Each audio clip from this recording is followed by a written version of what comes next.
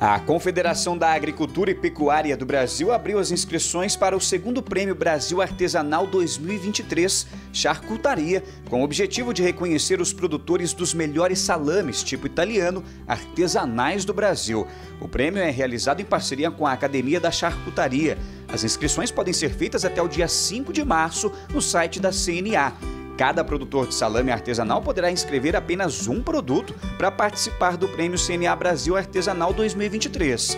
Os participantes deverão enviar amostras a partir de 6 de março com as especificações que constam no regulamento.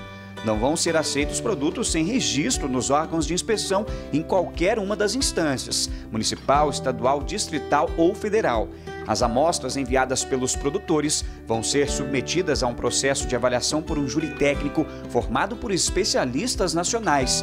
Vão ser selecionados para concorrer na etapa do júri popular os sete produtos com a melhor classificação. A etapa final vai ser uma avaliação da história do produto.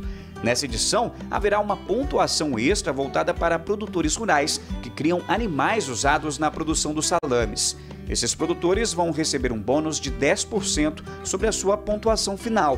Os cinco primeiros colocados vão receber certificados e premiações em dinheiro que chegam a 18 mil reais. O concurso é uma iniciativa do Programa Nacional de Alimentos Artesanais e Tradicionais da CNA para valorizar os pequenos e médios produtores rurais com produção artesanal e foco na profissionalização da atividade e na agregação de valor dos alimentos que produzem.